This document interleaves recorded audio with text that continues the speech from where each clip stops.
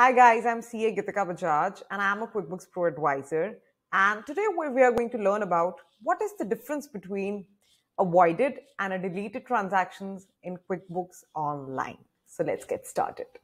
So basically, uh, voided and deleted have the same effect on the financial statements. That means the effect gets removed. But in voided transactions, what happens is see this invoice. So if I void it, the attachment in it is still going to be there. So let me just show you. So when I'm voiding it and uh,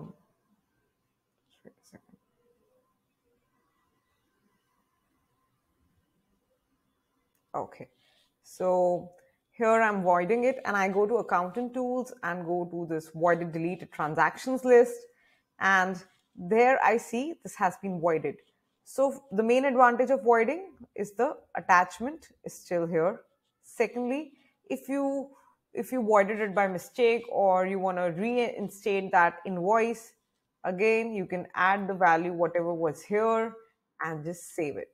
So reactivating the voided invoice is very much possible, but once if a transaction is deleted, the attachment is gone, and also the if you want to reactivate it, it's not possible.